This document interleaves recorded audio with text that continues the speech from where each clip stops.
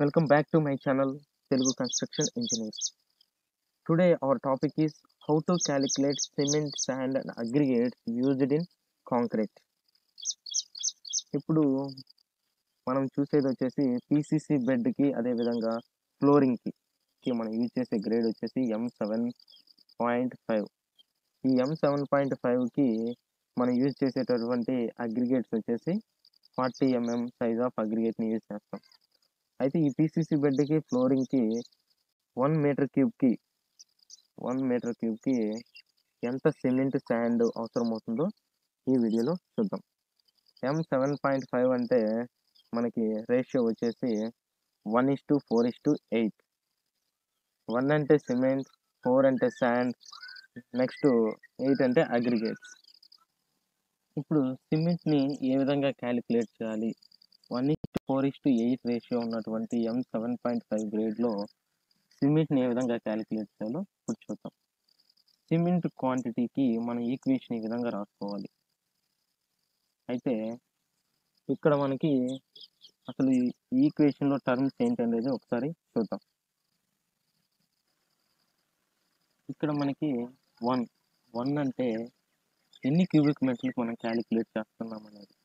అంటే ఇప్పుడు సపోజ్ మనము అన్ని వన్కి వన్ ఇంటూనే వేసుకుంటే తర్వాత మనకి జనరల్గా మనకి అక్కడ ఉన్నటువంటి వాల్యూమ్ ఎంత అయితే ఉంటుందో ఇంటూ వచ్చిన వాల్యూ ఇంటూ సపోజ్ మనకి టెన్ ఎం క్యూబ్కి సిమెంట్ క్వాంటిటీ కావాలనుకోండి ఫస్ట్ వన్ ఎం క్యూబ్కి ఎంత తెలిస్తే ఇంటూ టెన్ వేసుకోవచ్చు. అదేం ప్రాబ్లం లేదు.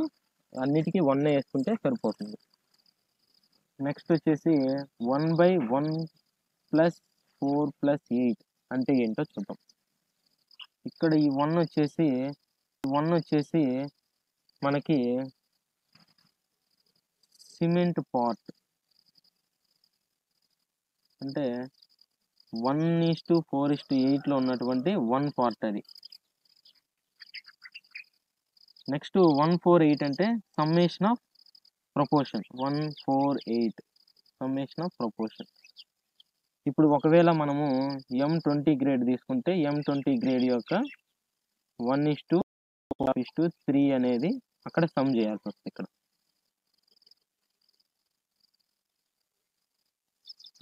ఇక్కడ వన్ పాయింట్ ఫైవ్ ఫోర్ అనేది ఏంది ఈ వన్ పాయింట్ ఫైవ్ ఫోర్ అనేది ఏంటంటే మనకి టోటల్ క్వాంటిటీ అనేది మనము డ్రైలో తీసుకుంటాం. జనరల్గా మన కాంక్రీట్ అనేది ఏం కలిసి ఉంటుంది?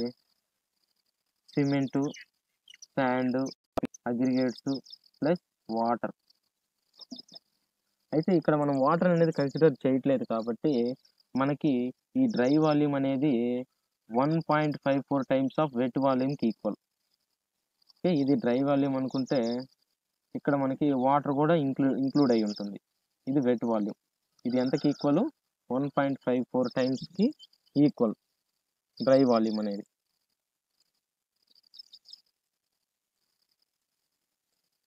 ఇది మొత్తం మల్టిప్లై చేసిన తర్వాత మనకు వచ్చినటువంటి వాల్యూ ఎంతో? చూద్దాం. Zero point double one eight four M cubes వస్తుంది. అయితే ఇది మీటర్ క్యూబ్లో ఉంది. మనకి డెన్సిటీ ఆఫ్ సిమెంట్ తెలుసు ఎంత? One double four zero kg per meter cube. అంటే మీనింగ్ ఏంటి? ఒక మీటర్ క్యూబ్ క్యూబ్లో మనము సిమెంట్ని ఫిల్ చేసిన తర్వాత మనకు వచ్చేటటువంటి సిమెంట్ యొక్క వెయిట్ ఎంత ఉంటుంది? One double four zero kgs. తర్వాత మనకి సిమెంట్ క్వాంటిటీ కేజీలో కావాలంటే మనము వాల్యూమ్ ఇంటూ డెన్సిటీ వేయాలి. వాల్యూమ్ ఎంత వచ్చింది? Zero point double one eight four. Into density ఎంత? Forty four zero. టోటల్ మనకి అప్రాక్సిమేట్లీగా ఎంత వస్తుంది? వన్ సెవెంటీ కేజీస్ వస్తుంది. ఓకే? అయితే ఇది బ్యాగ్స్లో కావాలంటే ఒక బ్యాగ్ వచ్చేసి మనకి ఎంత? Fifty kg.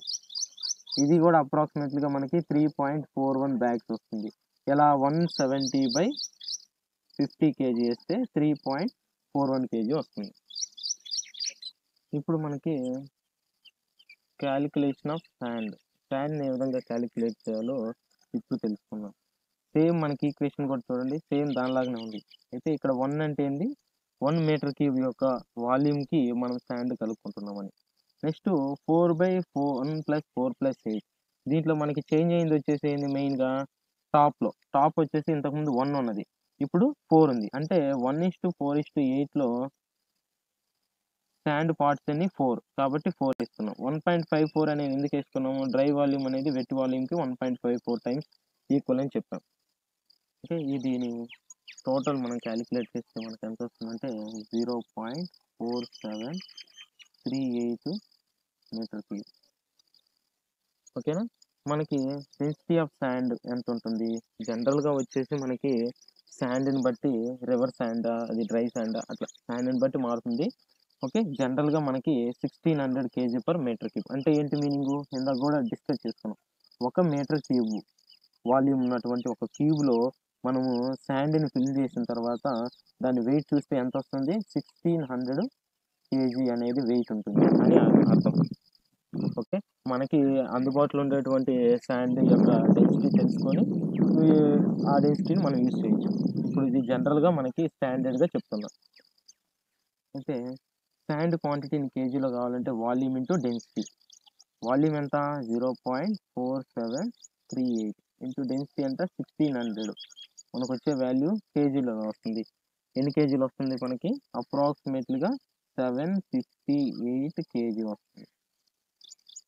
అయితే అయితే మనకి జనరల్గా మనము శాండ్ అనేది కేజీలలో మనం తీసుకోము. మనము శాండ్ అనేది ఒక ట్రాక్టర్లో కానీ లేదంటే ట్రిప్పర్స్లో కానీ మనము శాండ్ అనేది తోలించుకుంటాం. అయితే ఇప్పుడు కేజీలలో చెప్పే కంటే మనము శాండ్ అనేది ఎన్ని ట్రాక్టర్లు కావాలి లేదంటే ఎన్ని ట్రిప్పర్ అవసరం అవుతుందో మనకి చెప్పుకుంటే మనకి ఈజీ. ఇప్పుడు మనకి ఒక ట్రాక్టర్ వచ్చేసి మనకి ఎన్ని క్యూబిక్ మీటర్లు ఉంటుంది? Two point eight meter sorry two point eight three meter cube ఉంటుంది. అంటే ఒక యూనిట్. ఇప్పుడు ఇక్కడ మనకు వచ్చినటువంటి వాల్యూమ్ ఎంత? Zero point four seven three eight. అంటే మనకి ఒక ట్రాక్టర్ శాండ్ కావాలంటే ఎన్ని ఎం క్యూబులు కావాలి? ఎన్ని ఎం క్యూబ్స్ కంటే సిక్స్ ఎం క్యూబ్. కాంక్రీట్కి ఒక ట్రాక్టర్ అవసరం అవుతుందని అర్థం. ఒక ట్రాక్టర్కి స్టాండ్ ఎన్ని ఎం క్యూబులకు అవసరం అవుతుందో చూద్దాం. మనకేంది? ఒక ట్రాక్టర్ వచ్చేసి two point eight three M cube ఉంటుంది. అంటే వన్ యూనిట్ ఉంటుందని చెప్తున్నాం ఇప్పుడు ఇది zero point four seven three one meter క్యూబ్కి. Two point eight three M క్యూబ్కి ఎంత వస్తుంది? మనకు ఒక ట్రాక్టర్ వస్తుంది అనమాట అంటే ఓవరాల్గా మనకి సిక్స్ ఎం క్యూబ్ ఆఫ్ కాంక్రీట్కి ఒక ట్రాక్టర్ మనకి శాండ్ అనేది అవసరం అవుతుంది. ఐ హోప్ మీకు అర్థమైంది అనుకుంటున్నాను. ఒకవేళ అర్థం కాకపోతే కింద కామెంట్ చేయండి. నేను మళ్ళీ కూడా మీకు క్లియర్గా ఎక్స్ప్లెయిన్ చేస్తాను. నెక్స్ట్ వచ్చేసి క్యాలిక్యులేషన్ ఆఫ్ అగ్రిగేట్స్. అగ్రిగేట్స్ని ఏ విధంగా క్యాలిక్యులేట్ చేయాలి? ఇక్కడ చూస్తే ఈక్వేషన్ ఆల్మోస్ట్ సేమ్. ఈక్వేషన్ మొత్తం సేమ్ ఉంటుంది. మనకి సిమెంట్ శాండ్ అగ్రిగేట్స్ని మనం క్యాలిక్యులేట్ చేసేటప్పుడు ఇక్కడ ఉన్నటువంటి cement part sand part aggregate part ఏదైతే ఉందో అది ఒకటి మాత్రమే మారుతుంది. ఇప్పుడు one is to four is to ఎయిట్లో అగ్రిగేట్ పార్ట్ ఎంత? ఎయిట్ సో ఇక్కడ మనం ఎయిట్ యూస్ చేస్తాం.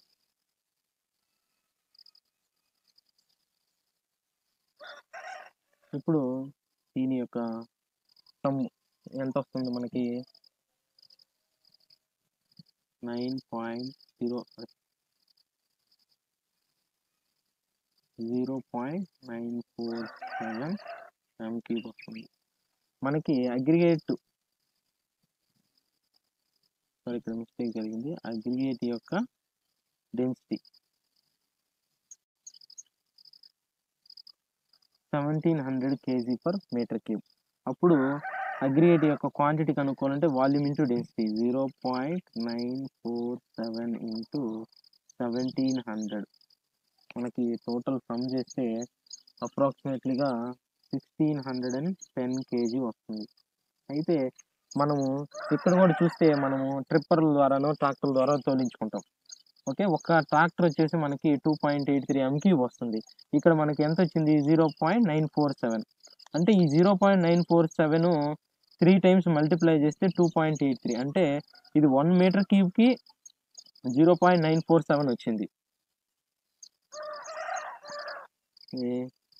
అలాగే త్రీ ఎం క్యూబ్కి మనకి వన్ ట్రాక్టర్కి ఈక్వల్ అవుతుంది. అంటే zero point nine four seven into three చేస్తే అప్రాక్సిమేట్లీ టూ పాయింట్ ఎయిట్ త్రీకి ఈక్వల్ అవుతుంది. అంటే త్రీ మీటర్ క్యూబ్ యొక్క కాంక్రీట్కి మనకు ఒక ట్రాక్టర్ అవసరం అవుతుంది. ఇంకా ఇప్పుడు మనం ఫైనల్గా చూస్తే మనకి ఈ one is to four is to eight రేషియోలో సిమెంట్ వచ్చేసి three point four one bag అది కూడా ఏంది? వన్ మీటర్ క్యూబ్కి మాత్రమే. వన్ మీటర్ క్యూబ్కి మనం క్యాలిక్యులేట్ చేస్తున్నాం. తర్వాత శాండ్ వచ్చేసి seven fifty eight kgs. Aggregates వచ్చేసి sixteen hundred and ten kgs. అదే మనకి ట్రాక్టర్లో కూడా డిస్కస్ చేసాం. మీకు ట్రాక్టర్లోనే మీరు గుర్తుపెట్టుకుంటే ఈజీ అంటే ఫస్ట్ మనకి ఇనిషియల్గా ఈ క్యాలిక్యులేషన్ అనేది వస్తే సరే ఈ వీడియో కానీ నచ్చినట్లయితే ఖచ్చితంగా లైక్ చేయండి షేర్ చేయండి సబ్స్క్రైబ్ చేయండి. ఒకవేళ ఈ వీడియో కానీ మీకు నచ్చలేదంటే ఖచ్చితంగా డిస్లైక్ చేయండి. కింద కామెంట్ చేయండి. ఈ వీడియోలో మీకు ఎక్కడైనా కానీ అర్థం కాకపోయినా కూడా మీరు కింద కామెంట్ చేయొచ్చు. దాన్ని ఖచ్చితంగా నేను రిప్లై ఇస్తాను. Thanks for watching.